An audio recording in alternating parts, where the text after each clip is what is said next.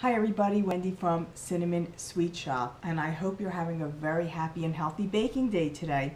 For those of you that are new to watching my videos, I take recipes and I try and clean them up by adding in or replacing some unhealthy ingredients with some healthier options.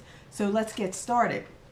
Today I'm going to be making a chocolate espresso sandwich cookie and to start that off, we're going to be using some holy pastry flour, some brown sugar. Now this is organic and I do make my own. If you go to my website, cinnamonsweetshoppe.com, you can learn how to make your own as well.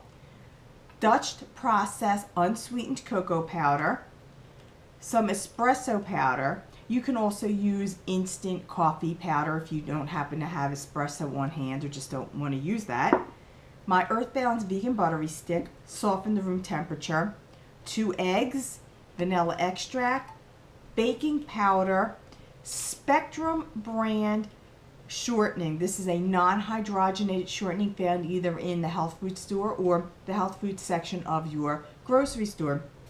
Sea salt. To make the sandwich filling, we're going to be using some Ricemellow cream, it's a marshmallow cream found in the health food section of your store or in a health food store. It's really made of brown rice syrup. And I'm going to be using some chocolate chips. Now you could use chocolate chunks instead. The Ricemellow is a very, very sweet product. So I recommend using either a bittersweet chocolate chip or chocolate chunks or even an unsweetened uh, chocolate and you just chop it up into very fine chunks. That's if you don't have a real big sweet tooth. We're going to begin this by mixing together or beating together the brown sugar, the softened spread, the, or you could use butter if you don't happen to have vegan buttery spread, and the spectrum shortening. We're going to beat this together for a couple of minutes till it's very, very well combined. Remember to scrape down the sides to make sure everything gets incorporated. Add in the eggs, vanilla, and salt. So we're going to add in the rest of the dried ingredients. So we have the powder,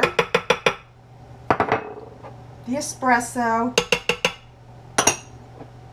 cocoa powder,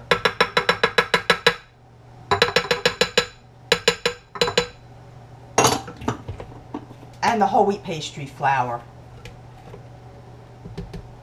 And then just beat this together again until it's well combined. I'm going to wrap the dough into some plastic wrap and refrigerate this for about an hour for it to firm up.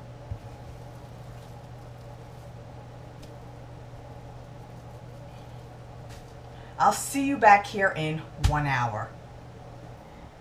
Now I'm going to be taking these about one inch size balls. You can make them as big as you would like and just place them about one and a half inches apart on the baking sheet.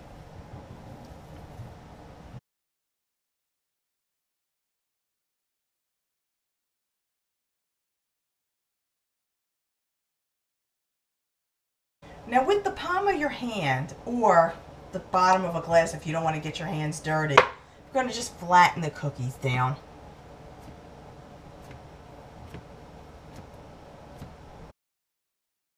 Bake these in a 375 degree oven for about 9 to 11 minutes and then we're going to have them cooled completely before filling them. While I'm waiting for the cookies to cool, I'm going to start making the filling. So I melted the chocolate. I did let it cool a little bit so it's not too, too warm. I'm just going to add it into the Ricemellow and mix that up. Okay, so these cookies are cool and they're nice dark chocolatey and they're really good to eat plain if you don't want to make sandwiches out of them. Um, I do like mine big, as you could see. You can make them smaller, more the shape of an Oreo cookie if that's what you choose to do. For the filling, now I don't really like to put a lot of filling in. Um, again, this is a very sweet type of filling and it's, it's also very sticky and gooey. So I just like to put in just enough so that you know it's a sandwich cookie. So I'm just going to dollop in there about teaspoonful, a little bit more than a teaspoonful.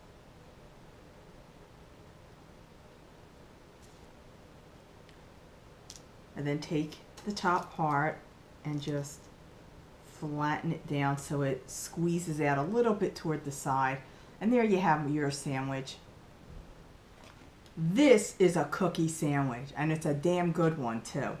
Don't forget for this recipe or my other recipes, check out my website at cinnamonsweetshoppe.com. Subscribe to this YouTube channel for so much more baking, cookie cake decorating, and some personal videos as well. And I'll see you next time.